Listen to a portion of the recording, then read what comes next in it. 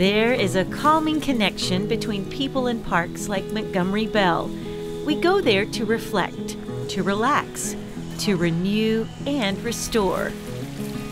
People who haven't been here before will find themselves a wonderful little wild spot.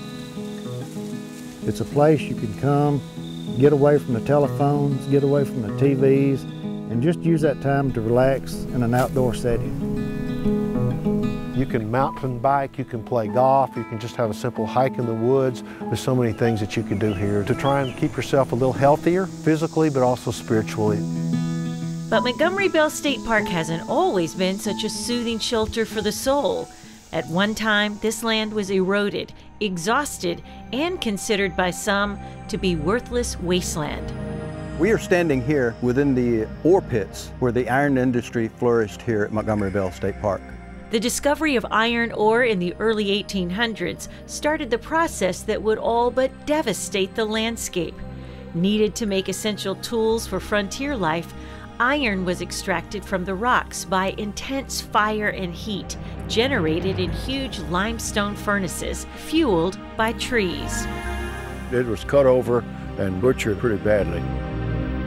The park's namesake, Montgomery Bell, was one of the area's most successful iron barons during the heyday of the industry. But the bustling iron business didn't last forever.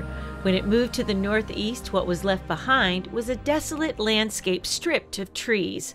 Almost 70 years would pass before land would be healed, ironically, by a depression. When we had the terrible depression in the 1920s and 30s, uh, President Franklin Roosevelt created a number of, federal agencies who worked to restore and to protect and preserve our resources.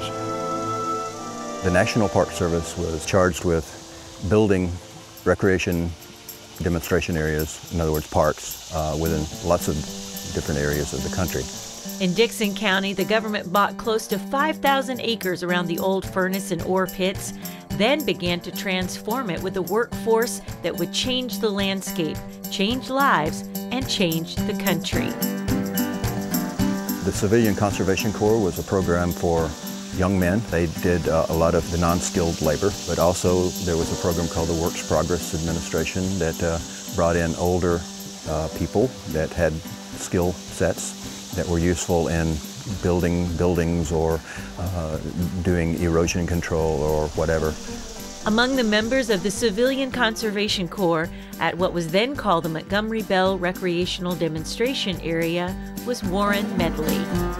I got here the last two or three years of the existence of the Civilian Conservation Corps. Couldn't have happened at a better time. I started helping building roads, setting out trees, doing everything. Another group of CCC workers at Montgomery Bell was Company 4497, an all African American group. Though segregated from their white counterparts, these enrollees were equal in their drive, efforts, and goals. They did a wonderful job, and the skill was quite evident when you look at the facilities that they have left us. To, this day, you can see the skill and, and pride that they took in their work. The CCC did the backbreaking work of transforming wasted land into a pristine park.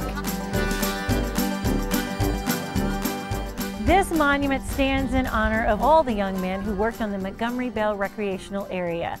The park itself is a living memorial to their commitment and sacrifice.